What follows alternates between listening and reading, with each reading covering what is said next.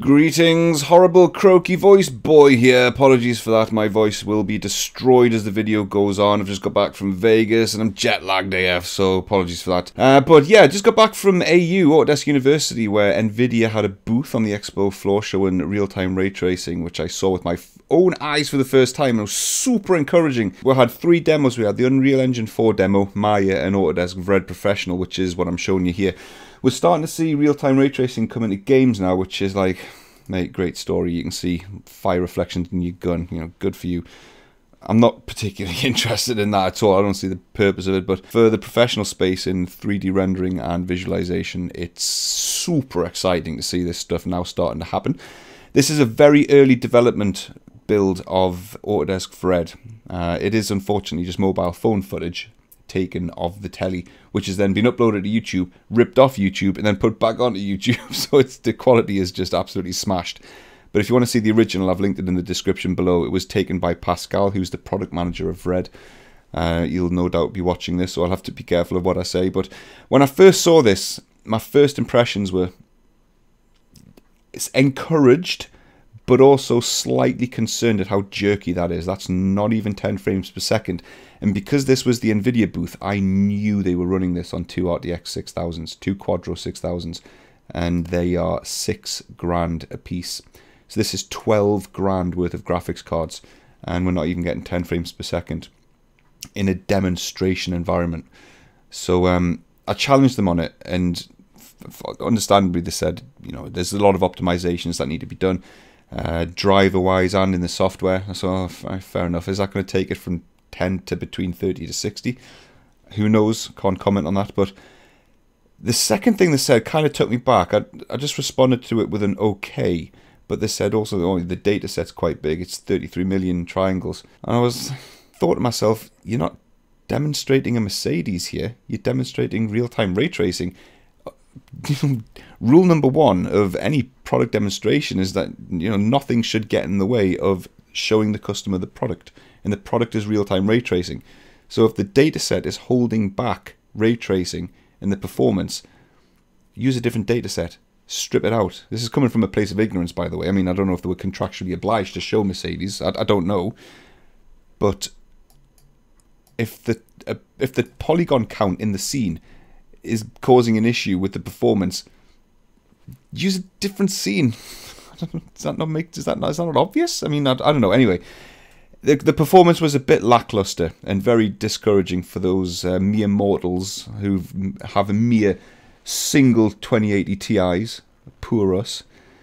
Uh, the, the fact that this is what we're going to get on two RTX 6000s, I was thinking, anyway. It's it's very early days. I not going to form an opinion yet, but based on the games that have come out and their performance, uh, I'll reserve those opinions for later on anyway. But so there's a few things going on here. I mean, first off, we've got uh, the reflections being ray traced from object onto object, uh, which is quite computationally expensive. That only happens when ray tracing is enabled. Uh, in contrast, this scene here, this is one I've put together. Um, and this is not ray traced. I was going to pretend, oh, look at this, is real time ray traced. Look how smooth it is. It's not. It's, I would have looked like a bigger moron than I already do. But you can see the wing mirror is not reflected onto the uh, the car body on the door. There's just nothing there. If you turn around and look into the mirror, there's just no car there. There's, there's nothing ray traced. It's uh, this is just purely OpenGL rendered on the graphics card, with the the area lights being reflected on the materials and also the IBL, but that's the HDRI background. But that's about it really. That's not ray trace, but with some, if I do say so myself, clever shadows, lights, and materials, you can get something that looks that looks pretty good, and it's it's pretty smooth as well. I mean, the anti-aliasing isn't cranked up to the top, so it's a bit speckly around the edges. But the lens flare and the lights and the textures and the materials, even without ray tracing, looks pretty good. So um, yeah, that's that's a scene that's not ray traced. Uh, going back to the scene that is ray traced, there's a there's another slight issue going. Say slight issue. It's probably a big issue. The development team, the area lights that are snaking around the car body look absolutely beautiful, but as they're dispersing light across the car body, the noise of the light is interacting with the flake in the paint, and they're using the tensor cores on the Turing architecture to denoise the scene. So they're using AI to denoise that noise, and it's getting confused between the flake in the paint and the actual noise. What you're seeing here in the video, it's it looks absolutely terrible. That's because it's been compressed like twice over. But in real life, it still looked pretty bad. That was quite distorted and speckly and grainy. So there's a bit of work to be done there. Um, as part of the optimizations. You can see that as it gets up close. As it, I mean, it, it always will be a bit brighter there because that that's it's a thin light strip and it will concentrate light in that way. But yeah, the the noise around it's going to be denoised using the tensor cores with uh, real time ray tracing. That's something that they can work on. But other than that, it's super encouraging, mate. Really encouraging to see this come out already in the professional space. I'm not holding up much hope of seeing this in 3D CAD. Possibly applications like Revit might make it, but Inventor, Fusion 360, the mechanical product design packages, I don't think this is going to come into that, if at all, ever. But anyway, yeah, that's that's it. It was just a quick one just to show you that this is now happening. It's very early days. I suspect we're looking at between 6 to 12 months before it's ready for product. If it's sooner than that, then bonus. I've no doubt Pascal will comment down below when it's ready or when he thinks it'll be ready or if he's even able to say that at the time. I don't know. But um, yeah, it's going to be quite a while. But I'm super encouraged. Well done to the Vred team for doing this. They did say that they are so niche with an Autodesk that they're almost invisible. Uh, so to have a team like that who are invisible with an Autodesk working on bleeding edge stuff like this, it's a credit to them.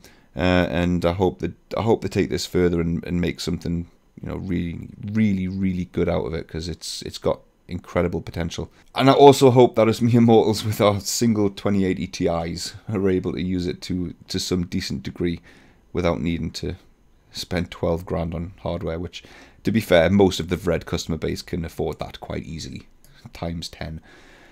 But anyway, mate, there you go. That's uh, that's Autodesk Vred with an early showcase of NVIDIA's RTX real-time ray tracing in action over at Autodesk University. Uh, if you want to see more of that, you can check out Pascal's video down below. Maybe subscribe to his channel because he might post more updates on it, or subscribe to the Vred channel uh, where you might see more stuff. Right, I'm going to knock it on the head there. My voice is like actually starting to vibrate my entire chest. So if you thought the video was useful, do hit the like button. If not, the other one is right next to it. Uh, and then subscribe if you want to see more stuff like this. If I do get uh, the, the build, which I'm allowed to show with real-time ray tracing in, I will be showing it on the channel if I'm allowed to.